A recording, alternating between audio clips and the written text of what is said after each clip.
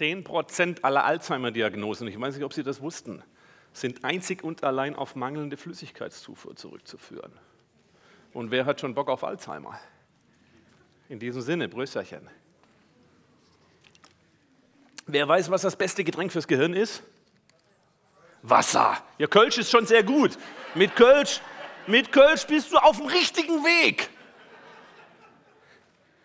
Rotwein. Meine Damen und Herren, Rotwein. Ja, sehe ich hier vorne. Interessiert euch die Menge? das ist gar nicht so wenig. Laut Studien von Professor Dr. Ernst Pöppel von der Ludwig-Maximilians-Universität in München, das weiß man, darf, darf der durchschnittliche 80 Kilo Mann trinken jeden Tag, sage und schreibe 0,4 Liter Rotwein. Wer hat über 80 Kilo? So, gerne auch ein halber Liter. Ich muss mir das schnell machen, ich habe nur eine Viertelstunde. Äh, die durchschnittliche 60 Kilo Dame darf immerhin noch trinken 0,2 Liter. Wer hat über 60? Nein, das wollen wir nicht wissen. Optimum wäre also 90 Kilo Mann, 60 Kilo Mädel, jeden Abend Fläschchen. Ne? Und das Hirn würde yippie schreien. So, wer würde noch mal gerne mit einer neuen Fremdsprache beginnen, wenn er von sich glauben täte, dass er dafür Talent hätte? Darf ich das mal schnell sehen? Hallo, mit Talent. Also nochmal langsam, wer von euch würde gerne nochmal mit einer neuen Fremdsprache beginnen, wenn er von sich glauben täte, dass er dafür Talent hätte und es ganz einfach und leicht ginge? Okay, das sind einer oben sogar auf der Empore auch. Servus. So, und warum? Weil wir es geil finden, wenn Leute so acht, neun, zehn Sprachen ganz gut sprechen, oder? Ja? Zwei, drei reichen heute nicht mehr. Ab wie viel Vokabeln pro Stunde würden, würden Sie glauben, dass es, sagen wir mal, dass es Talent wäre? Bitte, was habe ich gehört? 30, wer bietet mehr?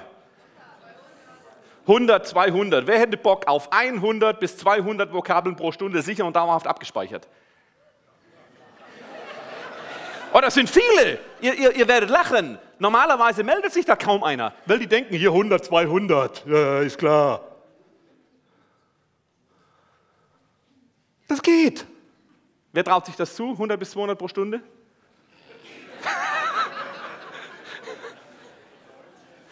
So, ich erzähle ich erzähl euch eine kleine Geschichte. Ihr braucht euch die Geschichte nur im Geiste mal auszumalen. Kriegt ihr das hin, Bilder im Geiste? Ich hatte neulich einen Kölner, der sagt, ich stehe ständig Bilder. Ne? Nur der konnte nichts dagegen tun. So, also, ihr müsst die Bilder im Geiste einfach so mitgucken, wie ich sie erzähle. Und dann haben wir innerhalb von vier Minuten 15 Vokabeln gelernt. Das sind pro Stunde äh, viele. Ganz viele, sind 225 pro Stunde. Also wir legen los. Stellt euch mal vor, wir alle hier aus dem, aus dem Theater, wir alle, wir gehen so eine lange Allee entlang. Und dann kommt uns eine ziemlich geile Person entgegen. So ein erotisches Tier, wo wir denken, oh, hallo. Ne? Und dann haben wir Lust, dieser Person einen Fußkuss zu geben. Ne? Wir stehen alle auf Füße, richtig, oder? Und wir beugen uns nach vorne runter und während wir den Fußkuss absetzen, wird uns dunkel vor Augen. Achtung, nur dunkel, nicht schwarz, es wird uns dunkel vor Augen. Wir kippen so auf die Seite auf einen Stapel Matten. Und während wir so bequem auf diesen Matten liegen, macht sich von hinten ein schwuler Hammel an uns ran. Und wir, und wir, oh Köln, hops, hupsa. Und wir, und wir schieben den Hammel so weg und sagen, nee, du, jetzt nicht. Und gucken auf eine Wiese. Und auf dieser Wiese sehen wir einen Bauer mit seinem Knecht. Und die wollen ein Schaf auf die Weide treiben. Und das Schaf will nicht so wirklich. Und dann sagt der Bauer zum Knecht, ja, dann schiebt das Schaf. Sagt der Knecht, aber das ist doch anstrengend. Ihr denkt den Bildern mit, ja? Manche gucken. Neulich einer, ich gucke immer so, wenn ich in Bildern denke. sagt der Knecht zum Bauer, das ist aber anstrengend, hör mal, da will ich eine Gehaltserhöhung. Sagt der Bauer, pass auf, Knecht, wenn du eine Gehaltserhöhung willst, dann musst du erstmal schaffen, die Sellerieknolle absolut mittig in den Grießbrei zu packen. Sagt der Knecht, weiß er, warum der Sellerie in Grieß ist für, für Gehaltserhöhung. Aber er macht das. Er kriegt die Kohle und fliegt von dem Geld nach Mallorca. Auf Mallorca angekommen, wandert er schön am Strand entlang, stolz wie Oscar mit viel Kohle, kommt ihm auf einmal Pamela entgegen. Kennt ihr Pamela? Hier die Anderson. Pamela Anderson, Pamela kommt ihm entgegen, mit nichts begleitet, außer einem großen Strohhut auf. Ansonsten wie der Chirurg sie schuf. Und er denkt sich, und pass auf, unser, unser Knecht denkt sich, oh, äh, schöner Hut. Ne? Und vor lauter, lauter verliert er seinen Schuh im Wasser. Und äh, er kommt nicht mehr dran. Jetzt hat er aber Glück im Unglück, weil am Ufer steht ein sogenannter Schuhkran. Und dieser Schuhkran, der fischt den Schuh aus dem Wasser raus, überreicht ihn an unseren Knecht. Unser Knecht nimmt den Schuh entgegen und sagt, oh danke, Schuhkran, zieht sich den nassen Schlappen an, wandert weiter. Kommt an der Liege vorbei, legt sich auf diese Liege und denkt, jetzt hätte ich Lust, ein Buch zu lesen. Und das habe ich noch nicht gesagt, das ist ein fauler Schwabe. Seid ihr noch dabei mit den Bildern? Ja. So, es ist ein fauler Schwabe. Normalerweise ist der Schwabe sehr fleißig und großzügig anderen gegenüber. So schwimmen die Schwaben übrigens. Und ähm, das ist nur ein Spaß. Hallo, ist doch kein Ernst jetzt. So, auf jeden Fall, unser Schwabe zieht sich schlapp, man legt sich auf diese Liege und denkt, er hätte, er hätte Lust, ein Buch zu lesen und will sich das Buch nicht kaufen. Er ist faul und denkt sich, das Buch lasse mir liefern. Dann lässt er sich das Buch liefern, liest und liest, kriegt auf einmal Teedurst. In dem Moment hört er aus dem Hintergrund eine Stimme, wollen Sie Tee probieren, kosten, schmecken? Hier verschiedene Teesorten, probieren, kosten, schmecken. Er sagt, ja, will ich, probiert und entscheidet sich für diesen Tee da hinten, weil das ist der Guttee, sagt er. Den Guttee hätte ich gerne. Dann trinkt er diesen Tee, auf einmal wird er gestört, aus dem Hintergrund ein lautes, knarrendes Geräusch. Er dreht sich um und entdeckt einen großen Lastenkran, ja, so einen Containerlastenkran. Und wer hängt vorne am Haken und schwingt fleißig hin und her? Kommissar Derrick. Ne? Ihr kennt den, Stefan Derrick. Und er ruft zu Harry, hol du schon mal den Wagen.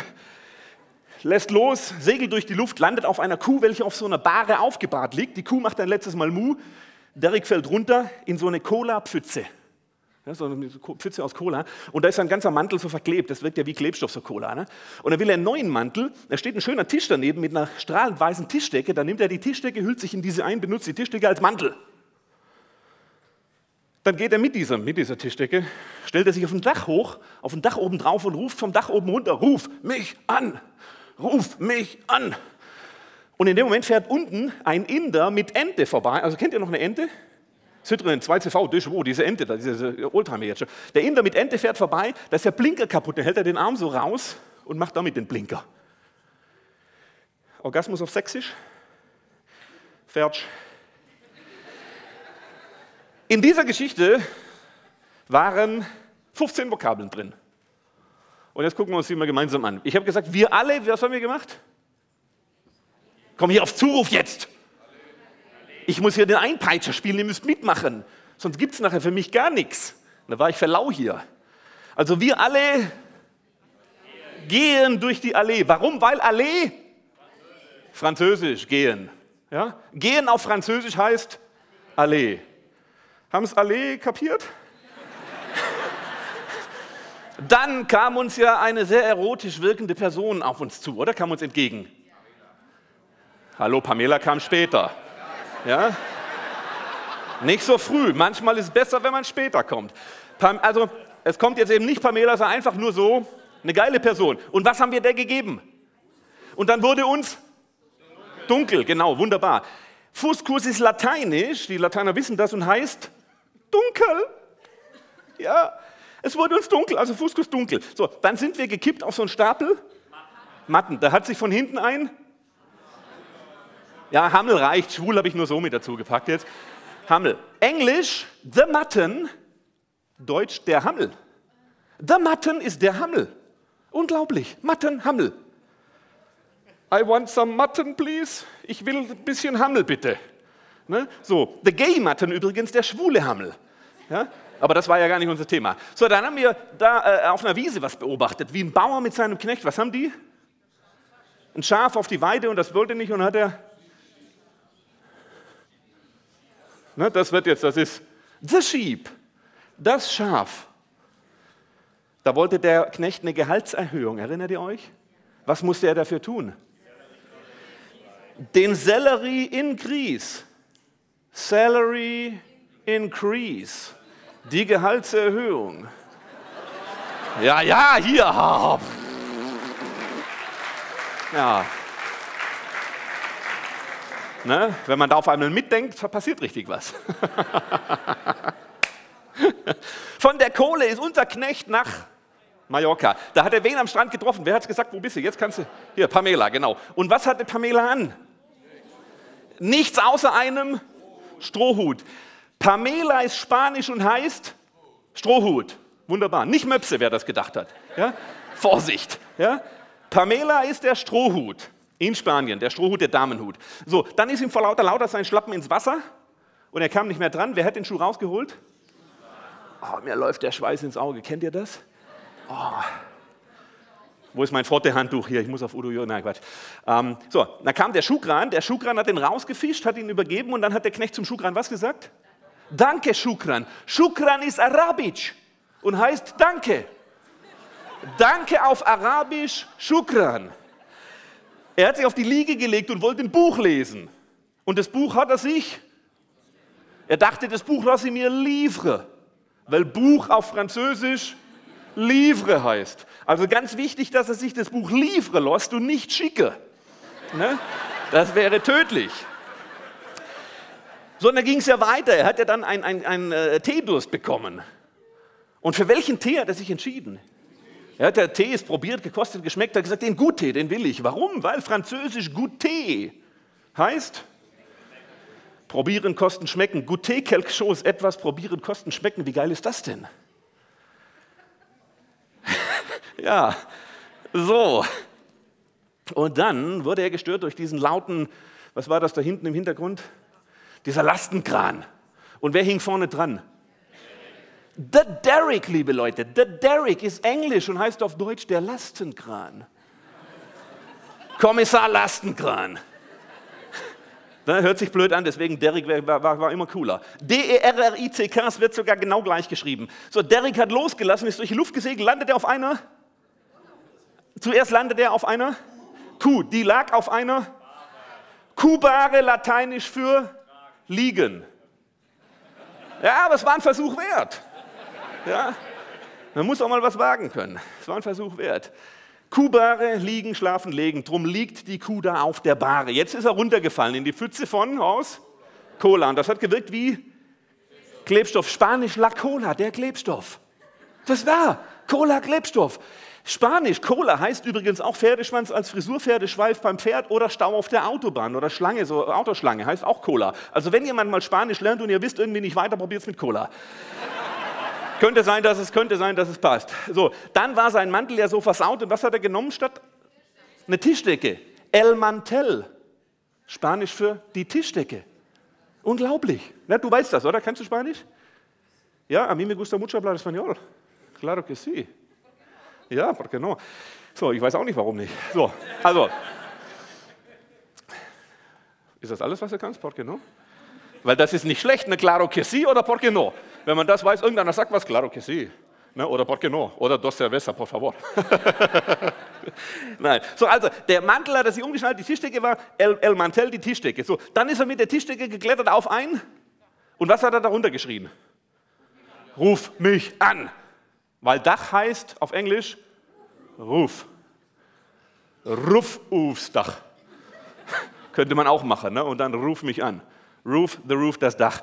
Und unten fuhr in dem Moment, wer fuhr da vorbei? Ein Inder mit Ente. Das ist mal geil. Achtung, jetzt haltet euch fest. Spanisch, der Blinker, ja, der hat ja den Blinker so gemacht, unser Inder. Spanisch Blinker oder Richtungsanzeiger heißt Intermittente. Intermittente.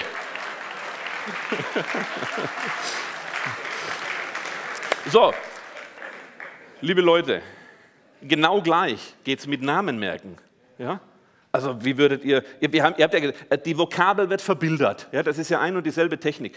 Intermittente hört sich an wie Inder mit Ente. Ähnlich. Blinker, da macht er halt den Blinker, dann haben wir intermittente Blinker. So, das geht mit jeder Sprache, vorzugsweise mit Englisch. In dem Buch sind 1500 Englischvokabeln, fix und fertig, gedächtnisgerecht verbildert, schon drin. Für euch, also für die faulen Säcke unter euch, die das nicht selber machen wollen. Mal ganz im Ernst, wer würde das selber machen wollen? Mal bitte Handzeichen.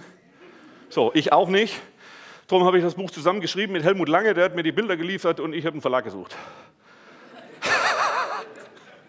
Nein, ich habe auch ein bisschen was mitgeholfen. Auf jeden Fall wirklich Hammer. Ihr werdet schon, wenn ihr euch das Buch gleich am Stand kaufen werdet, da werdet ihr merken, auf dem Nachhauseweg schon, lasst den Mann fahren, dann kann die Frau schon mal auf dem Nachhauseweg die ersten 100 Vokabeln auf Englisch in der Einleitung, dreiviertel Stunde, sind die schon drin.